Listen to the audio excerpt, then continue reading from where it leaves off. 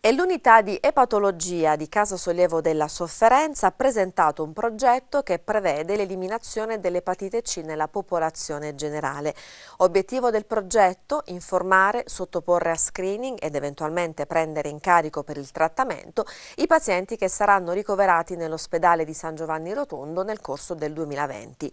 A Teleradio Padre Pio Alessandra Mangia, medico responsabile dell'unità di epatologia e coordinatrice del progetto. Abbiamo varato questo progetto che eh, implica la valutazione dell'anticorpo anti-HCV nei soggetti di età di 45 anni o più che si ricoverano in qualsiasi reparto dell'ospedale durante il 2020 e che verranno sottoposti al test per l'anti-HCV.